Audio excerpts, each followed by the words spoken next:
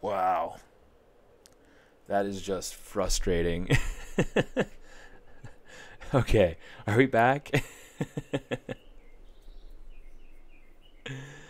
I think we're back. Yeah.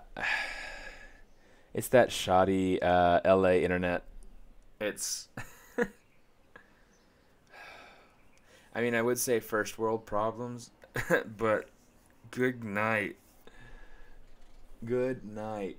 I mean, something that we pay so much money for, it better work, you know?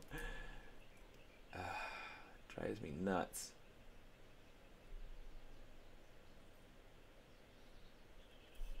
All right, let's go ahead and we'll say accept. Okay, I need to split this off so that it's its own thing. Split unmasked.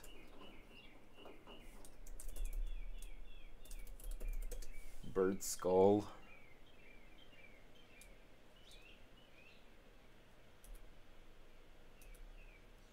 we'll just kind of play with the uh, the placement of these points so that they make the proper shape. And let's see. Oh, good grief, I can't see. Getting something in my eye. I've been getting something in my eye frequently over the last few days, and it's driving me nuts.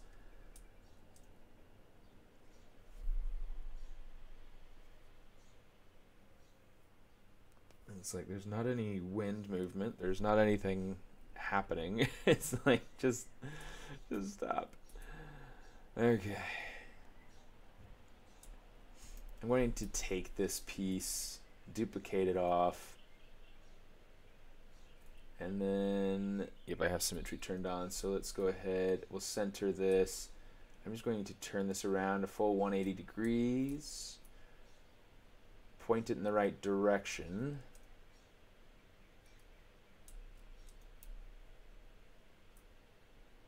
And we'll just kind of make this into the bird beak. Okay, now it's not quite perfect yet, so what I'm going to do, let's uh, let's grab this uh, clip curve.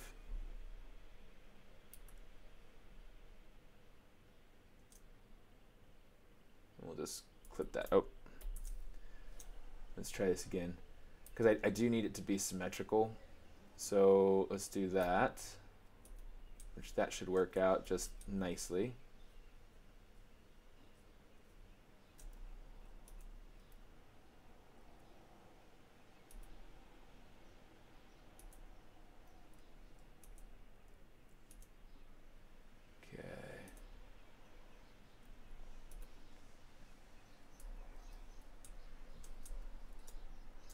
Other side.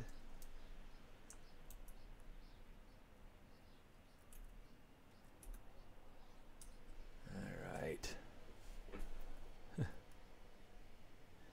yeah, this this little piece right here, yeah, I'm, I'm definitely going through and just kind of blocking this out for right now. Uh, there's some shape things I got to work out, and uh, but yeah, I mean it's it's it's working out so far. It's it's not too bad. Let's go ahead and kind of pull this up and over. This can kind of come in. This needs to come in and over. And then let's see, this little piece down eh, right here. Let's kind of pull that out so it gets more of that angled shape that we're getting from the actual bird head in the concept. Yeah, the the idea behind what it is that I'm doing right now is this is a it's a draw this in your style challenge, but I want to more like it'll have a little bit of my own flavor and like some of my own judgments and things like that on how things need to look. Um, but but really, I'm trying to I'm trying to go pretty close to the to the concept. Um,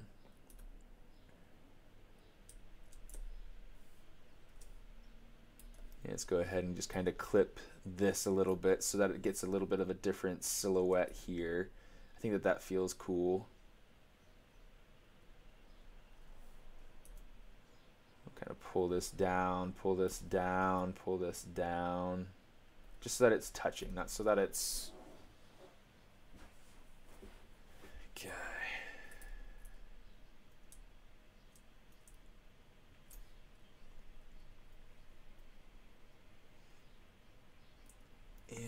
Trying to decide if I like that hooked beak or if I want to go with more pardon me, with more of a more of a straight, sharp beak, like what uh like what Mikel has there. Um, let's try it with a with a straighter beak, and we'll see if we like it. If not, we can just undo it.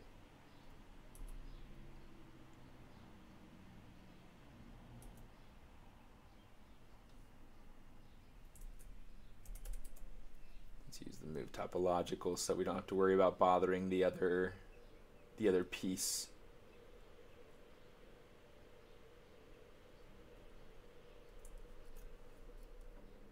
Yeah, I'll keep that.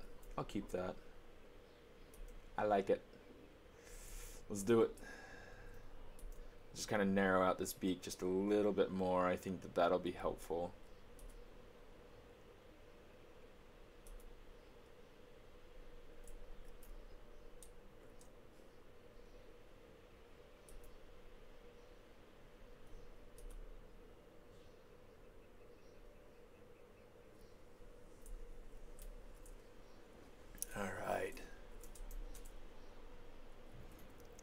Cool. All right. So what I want to do for right oh, shoot for right now, I want to keep these two pieces separate, but I want to dynamesh them. So I'm just going to go ahead and let's dynamesh, hit groups. Let's see what that resolution looks like. Not nearly enough. So let's go ahead and up that to like 512. Oh crap, come on.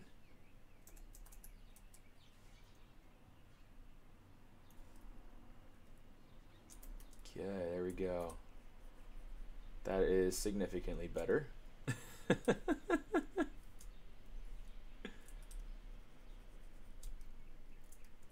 All right, now we get to get into the. Uh, yeah, you know what? Let's use trim dynamic, and we'll we'll play with this a little bit. Um, I had a supervisor who really didn't like trim dynamic. he was like, "Don't use trim dynamic." Use hard polish. and I was like, okay. Um, you know, for me, I really like trim dynamic because it gives me better control. Hard polish, it's good for different things. Um, you know, like you you can use different brushes in a better, you know, different contexts. Um, for me personally, I love I love kind of like the sketchy feel that I get from Trim Dynamic, but I also love how it's you know it's got a it's got quite a bit of control. Um,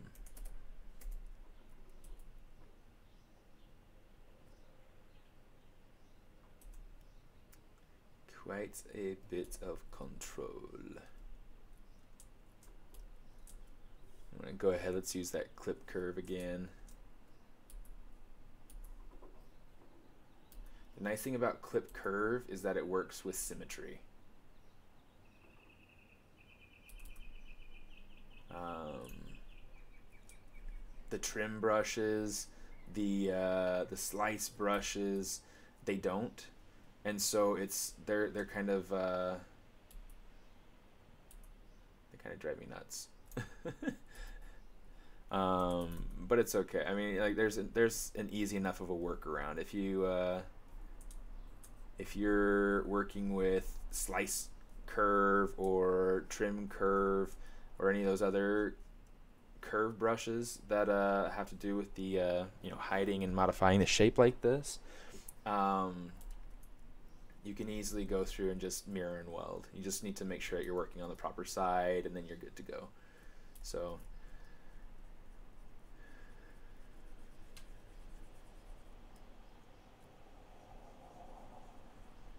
I'll probably make this a download on on uh,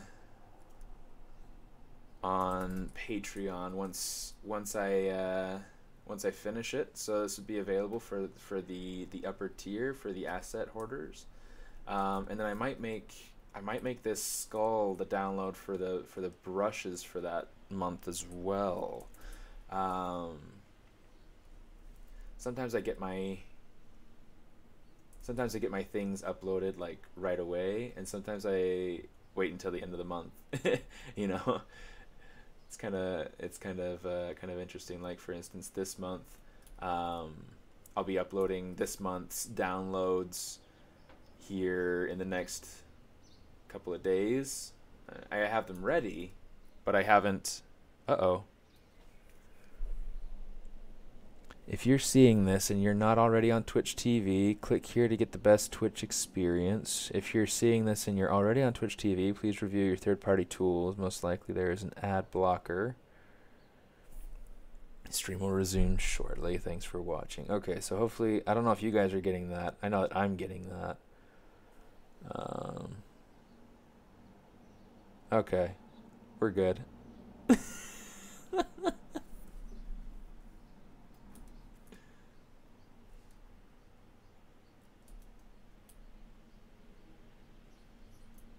not pinch. Well, I guess it could go through and pinch, but I wanted trim dynamic.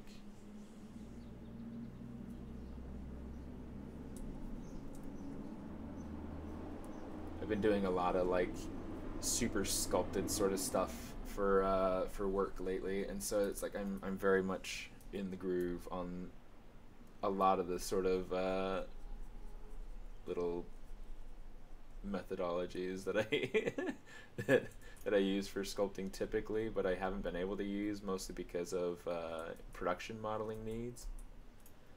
Um,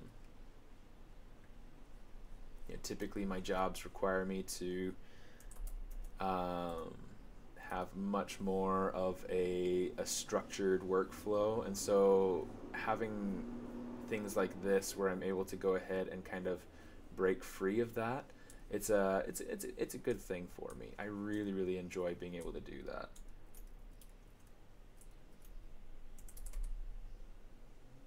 Okay, let's make sure this isn't dipping.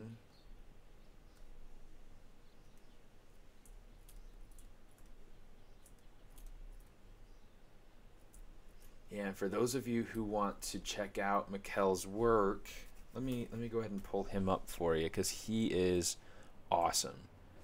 Let's go to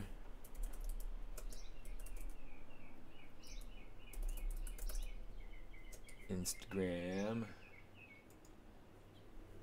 Oh, nice. I don't want to lose that, so I'm going to save it there.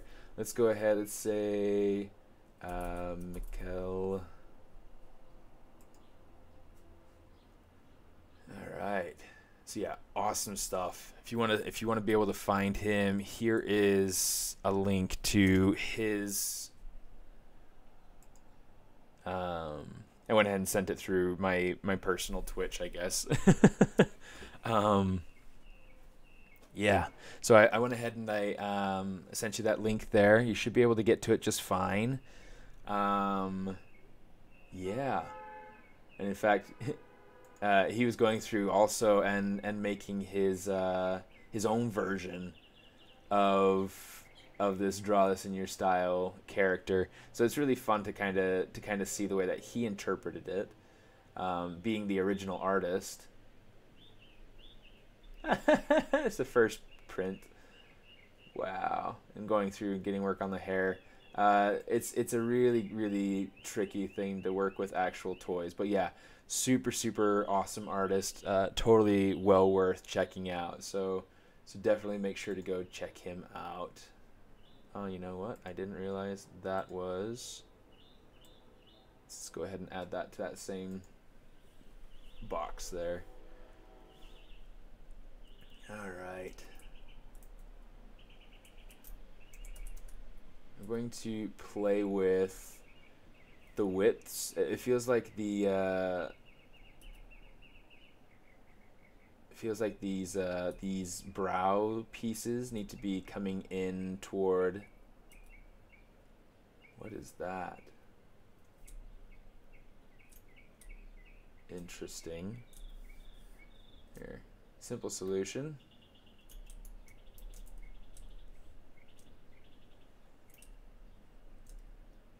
Okay, just kind of clip that off like that. Okay, and then it's really kind of tricky. I'm trying to I'm trying to figure out exactly what it is that I'm seeing here.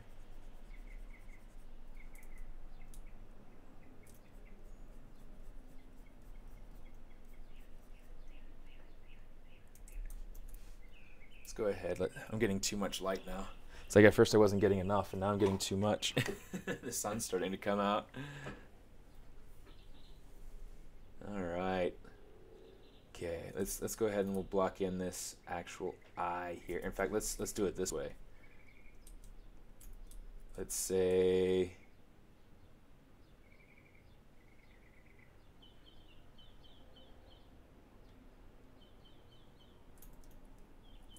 Okay, let's change to mask pen. Here, let's let's go ahead and let's turn on our, our lazy mouse. Because that'll help give us a much smoother line.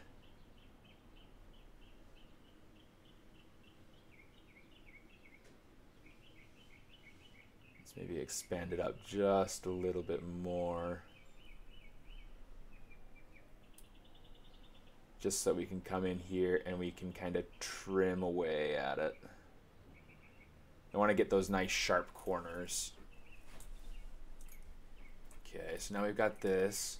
So now if we invert it, we can, let's, yeah, let's just use our move brush and we'll just, oops, make it nice and big.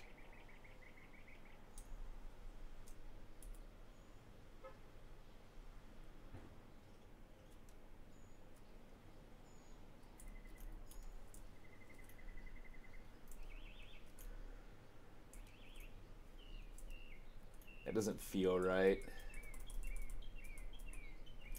So let's try, let's try this. Let's try, you know what? I'm trying to, I'm trying to go through and really ask myself what doesn't feel right about this. And it feels like there are a few things. It feels like there might be a need to kind of build out this area over here. Uh, so we'll, we'll play with this a little bit. Oh boy, I hope everything's just still working just fine because like according to what I can see, I can see that it's going through on the internet, but I'm not getting any actual messages on the chat on Pix on ZBrush Live. So I'm I, I I'm, I'm always worried that this is going to maybe I'll jump over to Twitch instead and see if that gives me anything else.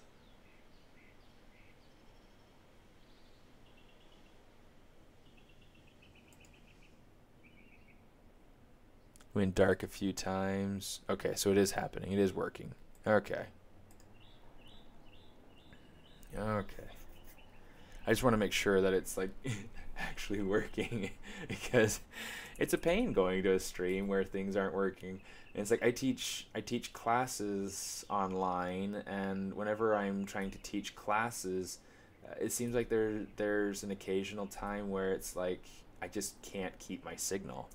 And uh, it's it's an absolute mess. I hate it. I hate it so so much.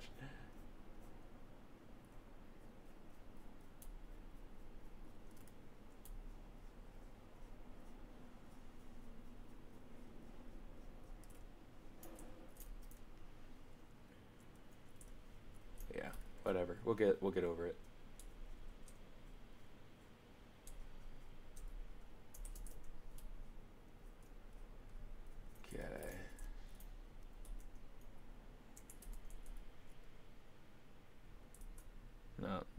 Use that. We'll, we'll just use trim dynamic.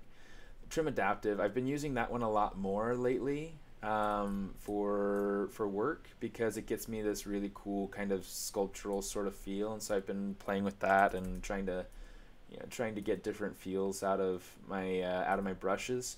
Um, my approach to, to sculpting has become very different since working with Netflix, and so uh, right now I'm kind of going a little bit more to